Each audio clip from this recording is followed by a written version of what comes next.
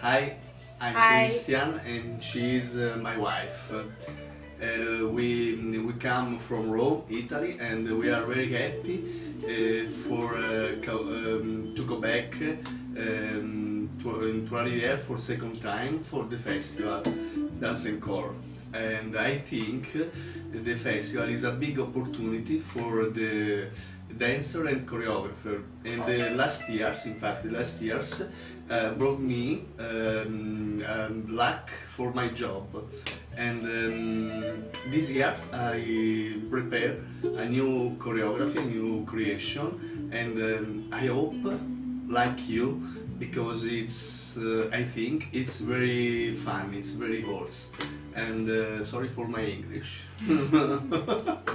Bye. Hi, I'm Francesca, I'm ballet teacher and I'm very happy to come back again uh, to Rivière and to bring my experience to many dancers that uh, come into Rivière, the city dancing. Ok, Eh, adesso in italiano.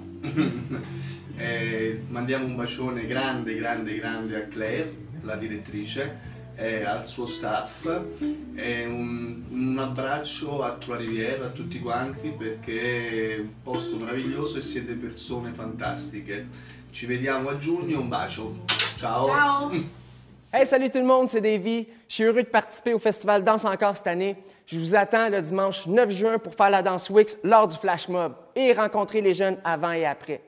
Je vous attends.